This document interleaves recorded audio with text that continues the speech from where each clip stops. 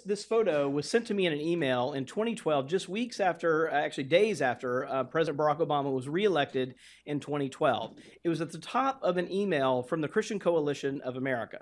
Uh, and um, I was struck by it at the time because it came like really right on the heels. It was in between the election and Thanksgiving, um, and uh, it had this caption un- underneath it. It said, uh, "Family at Prayer, Pennsylvania, 1942."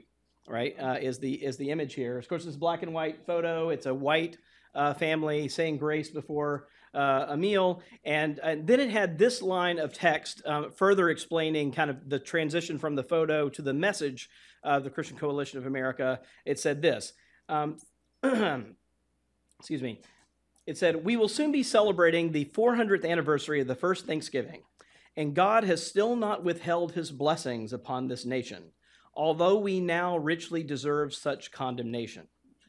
We have a lot to give thanks for, but we also need to pray to our Heavenly Father and ask Him to protect us from those enemies, outside and within, who want to see America destroyed.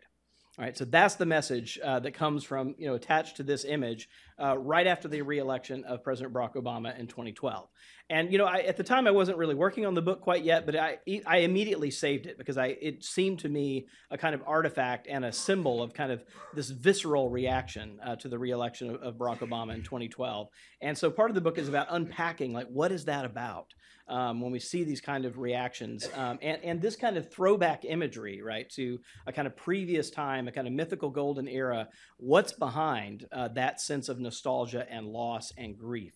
Uh, and so the book is called, you know, The End of White Christian America. And I want to say, uh, to kind of prevent some confusion, what I, I mean by white Christian America really is a metaphor um, for the, the whole cultural institutional edifice that was built not exclusively but primarily by white Protestant Christians uh, in this country um, that really did set the tone for our national conversations and uh, really um, shaped a lot of American um, ideals. I mean, it wouldn't be hard, you know, many of you may have walked here uh, to walk very far without tripping over an institution that was started by white Christian America, white Protestants. So the YMCA, the YWCA, the Boy Scouts, uh, you know, it would not be hard to kind of find these things.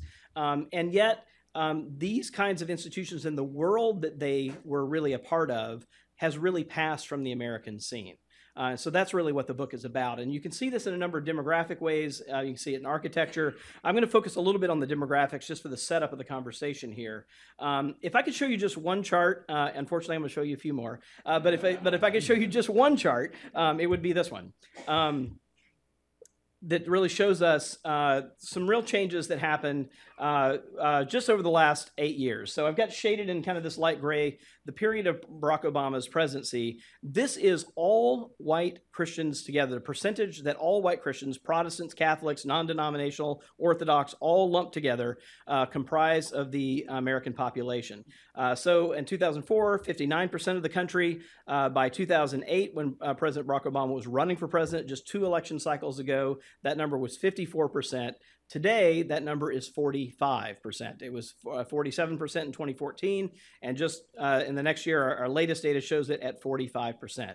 So, just during the last two election cycles, during President Barack Obama's uh, presidency, we have crossed this amazing threshold. We have moved from being a majority white Christian country to a minority white Christian country uh, in just a short amount of time. So this is, in fact, even if people I think don't know these stats uh, that well, I think many white Christians, particularly white conservative Christians, feel this shift in their bones, right? And this is part of some of the reactivity that we're seeing. Um, just to kind of put one more kind of symbolic issue uh, across this same uh, time period, uh, I'm putting up here uh, support for gay marriage over this same uh, period of time. And right, so if you just again go back to 2008, what you see is that only about four in 10 Americans supported gay marriage when Barack Obama was running for president in 2008. Uh, that number today is 53%. So, similarly, we've gone from a country uh, where only about four in 10 supported same sex marriage to being a country where a majority uh, support same-sex marriage. That's a major cultural shift on a on a um, pretty big uh, bellwether issue in a short amount of time. So, um, so part of what the story that the book is telling is really about unpacking the reactions and the grief and the anxiety around uh, the reactions to these kinds of demographic and cultural change that we've seen really in the last decade uh, of our nation's life.